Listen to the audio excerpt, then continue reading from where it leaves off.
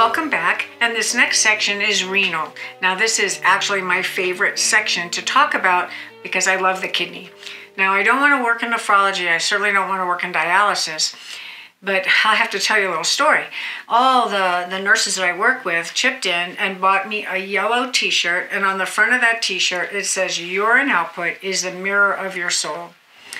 And that is very dear to me, and I wear it under my scrubs at least once a week. And the reason they gave me this, and the reason I talk about the kidneys so adoringly, is that if a patient comes in, an adult patient comes into the hospital with normal renal function, and we give them AKI, kidney injury, that requires dialysis, that patient's mortality, in house mortality, goes up 50%. 50%. So, whatever they're coming in with, whatever trauma, STEMI, pancreatitis, sepsis, whatever they come in with, whatever their mortality is from that illness, it goes up 50%. So here are the statistics. Somebody comes into the hospital, they have normal kidneys, we give them acute kidney injury that requires dialysis. We have 100 of those patients. 50 of them are going to die in the hospital before they leave. 50% mortality. Of the 50 that are able to leave the hospital, all of them will be on dialysis, and 25% of them will remain on dialysis the rest of their life, and 25% over time will recover renal function and come off dialysis. Now, look at that. That's not very good statistics. 50 people are going to die. Of the uh, remaining 50, 25% of those, 25 people, will be on dialysis the rest of their life. So, one of our jobs in acute care, in intensive care, is to make sure we monitor kidney function and watch out for the things that hurt the kidneys. So let's talk a little bit about the kidney. The kidney regulates everything fluid, electrolytes, acid base, but the kidney also has endocrine properties. The kidney secretes erythropoietin, and that's what stimulates your bone marrow to make red blood cells and blood cells. So when the patient has acute kidney failure or chronic renal failure, Hmm, the kidney stops or really slows down making erythropoietin, and many of those patients become very chronically anemic. The kidney receives about 20 to 25% of cardiac output. So that left ventricle contracts, about 70 cc's is ejected, that's stroke volume, and about 25% of that blood is in the kidneys. So the thing to always remember is if cardiac function declines, kidney function declines because the heart can't pump blood to the kidneys. Very important. Now, all of your organs, all of your very high level organs, your brain especially, has the process of autoregulation. And what that really means is if the patient's blood, the patient, the person's blood pressure drops, the renal arteries will automatically dilate to bring more flow to the kidney. If the blood pressure is too high, the kidney, the renal arteries will constrict so that high pressure isn't transmitted to the kidney and cause damage.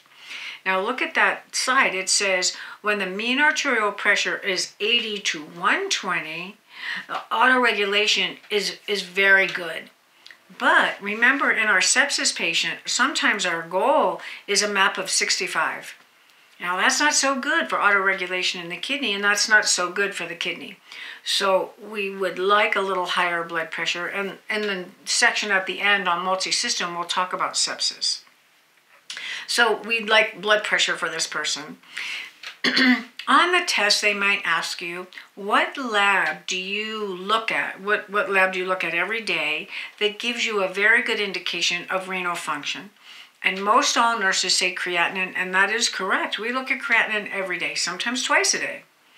But what else do we look at? If you ask your nephrologist if you ask your nurse intensivist what do we look at every day to really gauge um, renal function? We look at creatinine every day we look at urine output for a 24 hour period and we look at GFR, glomerular filtration rate.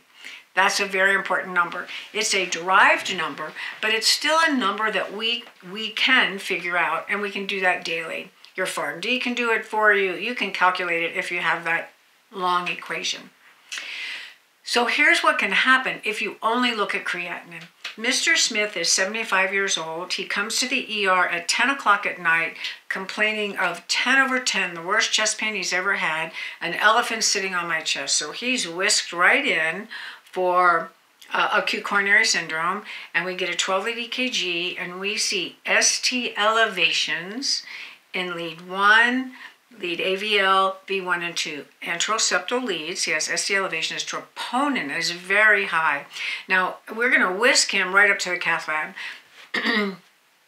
He's a STEMI alert, right? So we're going to whisk him right up there. But we get labs. In the ED, we're going to get labs. And we see at 10 o'clock at night, his creatinine is 1.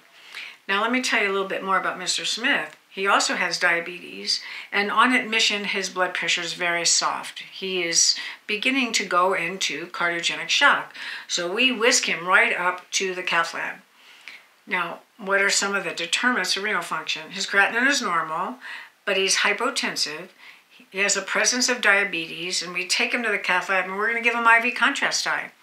Now, in the cath lab, he gets two stents in his LAD, and he looks like a charm. His blood pressure comes back up, he's not having any dysrhythmias, he's not bleeding, his chest pain is all gone, and he goes to the step down unit. He doesn't come to ICU, he goes to step down unit. Now, in the step down unit, usually labs are done again at 4 or 5 in the morning. So his labs at 10 were normal. his labs at 4.30 in the morning, his creatinine is still 1. So you don't see any change in his creatinine, so you assume that his kidneys are normal. But if you're looking at GFR, his GFR was normal at 10 p.m., but it fell half normal by 4:30 in the morning. So the important thing is you have to look at all the parameters. GFR, normal GFR, glomerular filtration rate, is about 180 liters per 24-hour period. So your your glomerulus and the cortex of your kidney filter 180 liters of fluid a day. Now, there's nobody that pees 180 liters a day. No, you'd be a little raisinette on the floor.